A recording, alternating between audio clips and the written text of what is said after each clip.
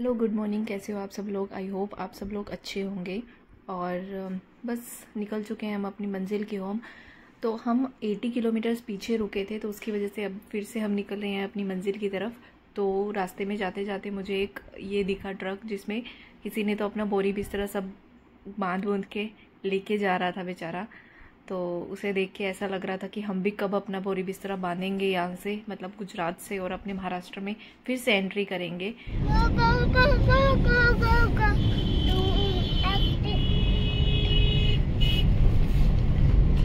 ये तो जन्नत आ गई। छान वाटतं ना इकडं तिकडं। ग्रीनरी सगळी वाह अंशु देखो कितना सुंदर है। देखो देखो देखो। ये देखो आगे कितना सुंदर है। इधर भी पेड़ है उधर भी पेड़ है। सब जगह पेड़ है। हाँ दे रही हूँ रुको। क्या चाहिए आपको चश्मा? दे रही हूँ।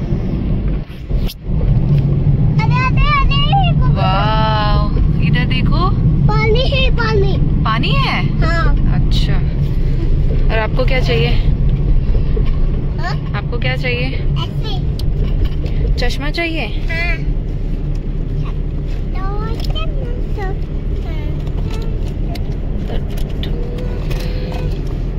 ये लो।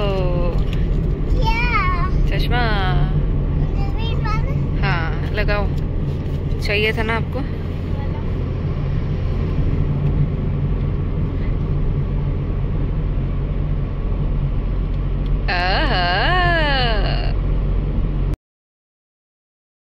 तो फाइनली यहाँ हमने गुजरात को गुड बाय करके राजस्थान को हेलो कर दिया है, क्योंकि हम अब एंटर हो चुके हैं राजस्थान में।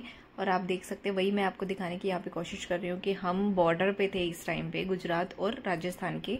तो ये फाइनल जो था, यहाँ से आगे का रास्ता, पूरा राजस्थान का रास्ता था, जहाँ हम जा रहे थे।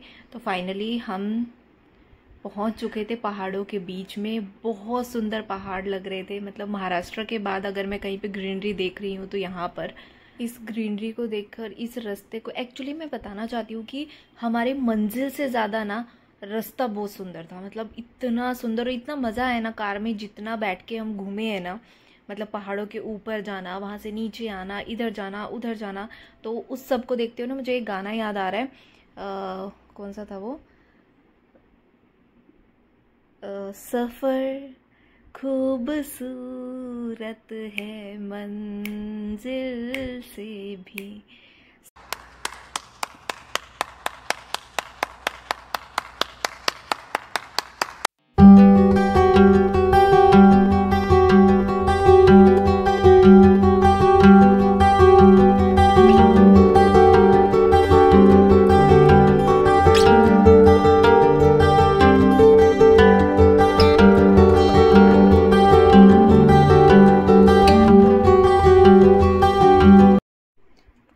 सुहाना सफ़र करते हुए जाते हुए ऐसा तो हो नहीं सकता कि इतनी सारी गाड़ियाँ और जाम ना लगे।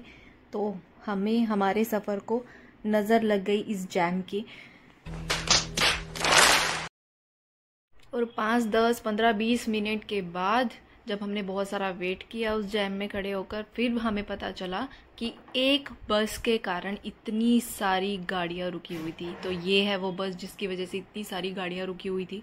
और आपको जैम मैं दिखाती हूँ आगे। इतना बड़ा, यहाँ से जो गाड़ियाँ उसके पीछे थी, बस के पीछे। वो आगे पंद्रह से बीस मिनट तक हमें सिर्फ़ गाड़ियाँ दिख रही थी, उस साइड पे। जो स्टॉप थी, लोग वहाँ से निकले हुए थे बाहर और आराम से कोई बिस्किट खा रहा था, कोई बंदरों के साथ खेल रहा था, कोई अपने बच्चों को कुछ खिला रहा था। मतलब इतना सब कुछ चल रहा था ना कि रोड पे ही लोग आके आराम से पिकनिक मनाना शुरू कर दिया था, क्योंकि उन- कैसा लगा मेरा मज़ाक?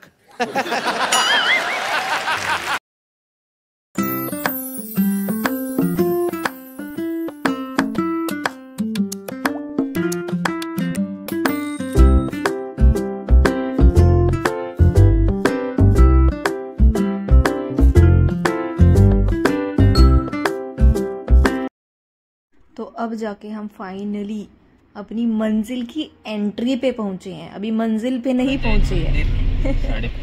तो देखो अभी।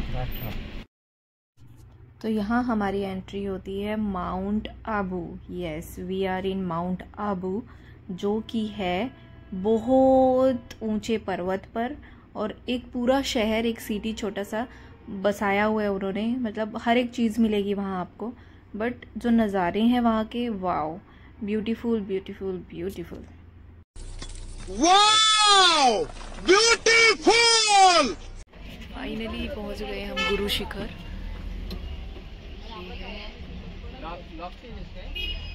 बहुत ज़्यादा भीड़ है बहुत ज़्यादा।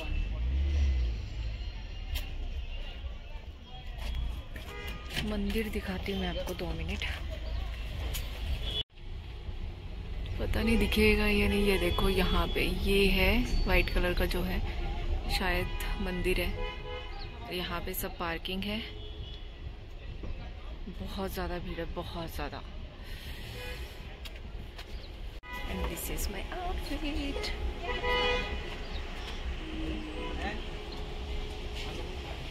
धूप बहुत है यार, धूप बहुत ज़्यादा है।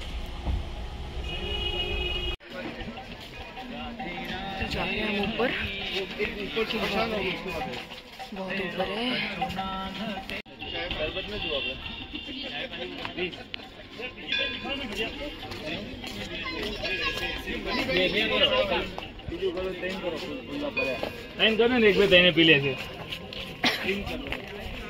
वो है मंदिर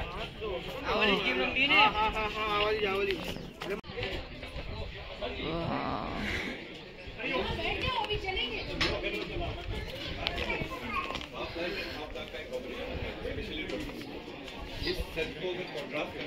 वाह।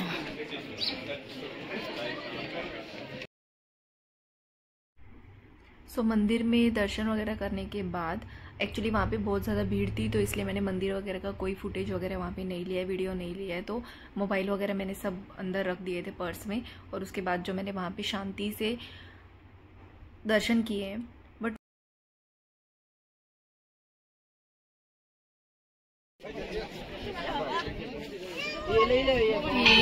बट ये लाजवाब व्यू ये पूरा नीचे आपको दिखेगा भी नहीं, पूरा नीचे है और हम बहुत ज़्यादा ऊपर हैं। मेरे ख्याल से पंद्रह सौ कुछ तो है, पता नहीं कितना है। ऊंचाई पे। चढ़ो, उतरो चढ़ो, उतरो, इतना ही हो रहा है। बहुत ज़्यादा ऊपर है यार।